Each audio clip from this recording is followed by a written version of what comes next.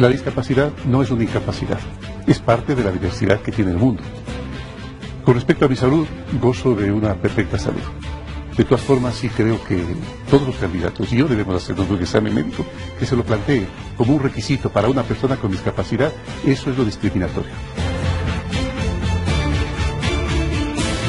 Ni leninismo ni corrismo, ecuatorianismo. Eso es lo que nos corresponde. Trabajar por el Ecuador, independientemente de cualquiera sea la decisión del pueblo ecuatoriano.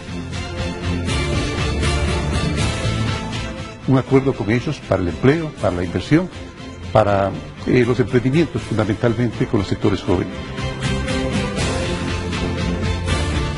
Con la condición de que haya inversión y empleo. Una cosa es que podemos eh, rebajar cualquier impuesto que afecte directamente al pueblo ecuatoriano. Y otra cosa es que querramos directamente beneficiar a los 6.500 emprendimientos personales o de empresas que son los que más pagan impuestos en el Ecuador. Me fui con un abrazo del pueblo ecuatoriano y regreso con la mano tendida.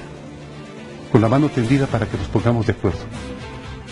Para que recordemos los grandes objetivos nacionales y en base a eso proyectemos, vuelvo a recalcar, un futuro luminoso para el Ecuador.